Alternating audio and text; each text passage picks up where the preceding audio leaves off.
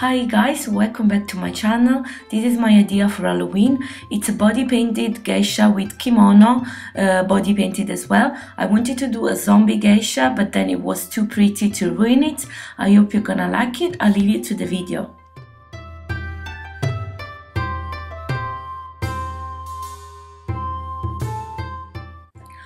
I start by mapping out my face with a white pencil, which I can easily erase if it's not symmetric on both sides. And I'm gonna draw the circle. I'm now gonna flatten my brows with some Pritt stick glue and then I'm gonna draw also these guidelines for where I want my fake eyebrows to be. As you can see, you can easily erase um, the product with your fingers and draw back on.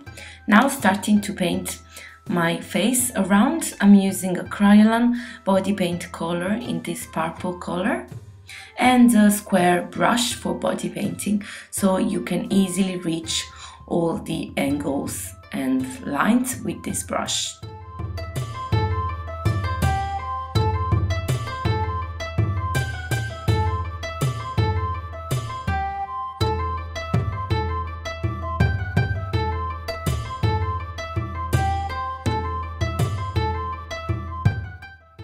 Once you finish to draw all the purple parts around your face, we're gonna switch to a white body paint color and I'm gonna paint all the inner part of my face with white, just leaving the brows area.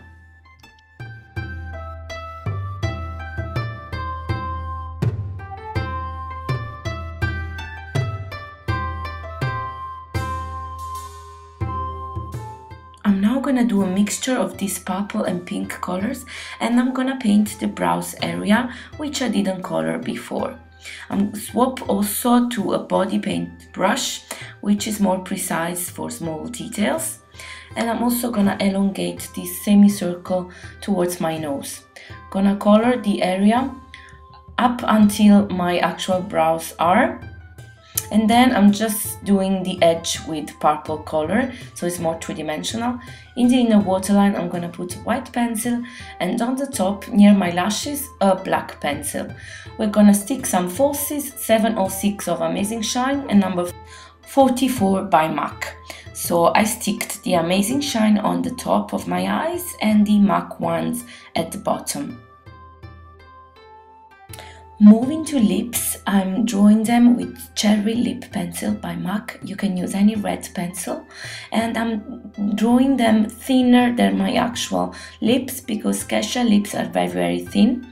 And as a lipstick, I'm using All Fired Up by MAC, which is a matte lipstick.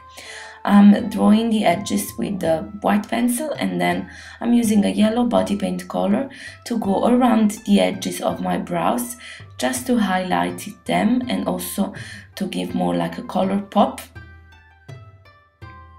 So be very precise at this point and I'm also drawing of yellow the edges of the lips. Now moving to the kimono I'm drawing the start of my kimono and I'm painting all my neck of white. We can now start painting the skin of the color you want your kimono to be. I'm using purple as well, so I'm painting all my skin uh, of purple. And you want to do this in um, more steps, um, so do one step, then let it dry and repeat again because this is gonna give you a more vibrant color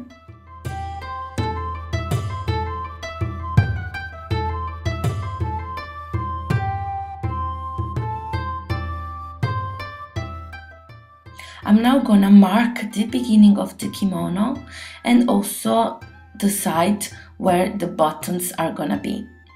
I'm just giving more 3D effect by painting the edges with some black color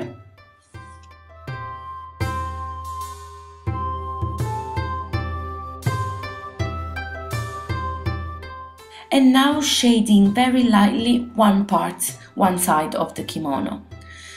Doing again the side of it and drawing some little buttons on it. It's now time of decorating the kimono. You can use your imagination. I just searched for some pictures of kimonos on the internet and uh, that's where I took inspiration from, but I also played a lot with my fantasy. So I'm just drawing two big flowers, one on each side of the kimono. And to do this is always good to use light color because they're really gonna pop out. And I'm also gonna draw some petals here and there. You can do petals of three, of two, of one,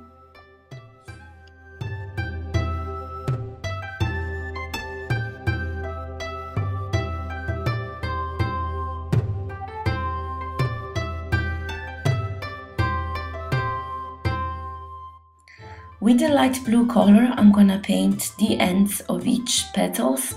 This is gonna give us more uh, funny effect and also they're gonna be more three-dimensional. With the yellow, I'm gonna draw the center of the flowers and other petals every now and then where you want.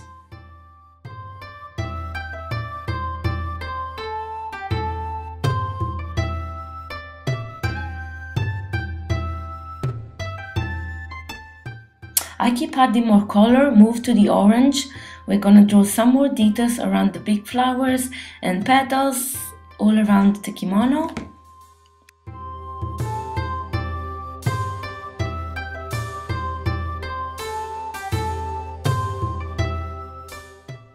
Skip to the yellow again, I'm gonna draw some ornamental details. So some little dots, they're gonna join some flowers on the kimono and as you can see it's very pretty At first I didn't want to paint too much the uh, right side of the kimono but then I didn't like it how it looked so I painted as well.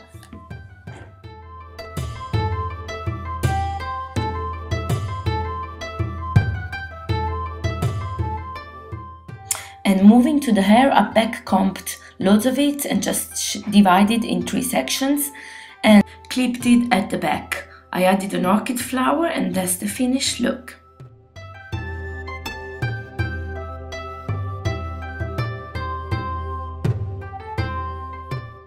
I spend lots of time recording this look and I put lots of passion. Please give it thumbs up. Uh, don't forget to subscribe to my channel if you're not. Share it on your social media as well. And sorry for this voiceover, but I forgot to record in English. Thank you for watching. Bye bye.